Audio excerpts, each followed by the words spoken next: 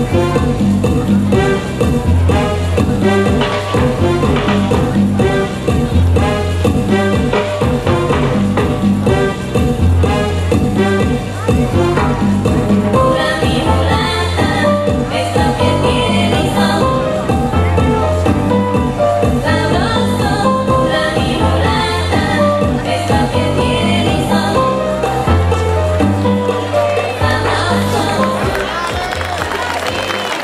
bravissimi ragazzi, complimenti ancora, non finirò mai di dirlo, non trovo più sinonimi per, per lodare questi fantastici ballerini e eh, che adesso lasciano il passo a Ernesto.